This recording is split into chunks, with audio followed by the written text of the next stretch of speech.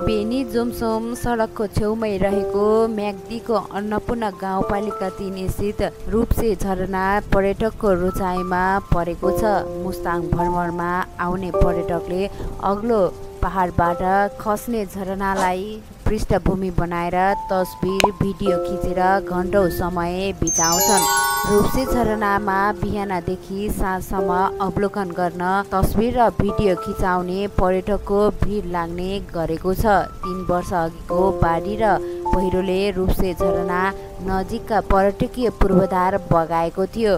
बाढीले क्षति गरेर रूपसे झरना र अन्धगल्छी वरपरको सौन्दर्यमा असर गरे पनि पर्यटक घटेका छैनन्। झरनाको नजिकै हालै बेली ब्रिज निर्माण भएको छ। पहिरो पन्छाएर सडक फराकिलो बनाएपछि जीप मोटरसाइकल पार्किङ गर्न सहज भएको छ। ठुला गाडीमा आउने पर्यटकलाई अडाउन व्यवस्थित पार्किङको आवश्यकता छ।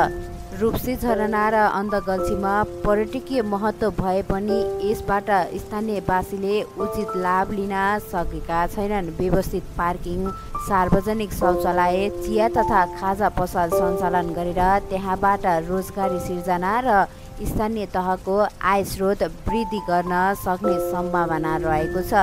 झरना र गल्छीसम्म पुग्ने व्यवस्थित पदमार्ग तस्बिर भिडियो खिच्ने सुरक्षित ठाउँ बन्नुपर्ने पर्यटकहरू बताउँछन्।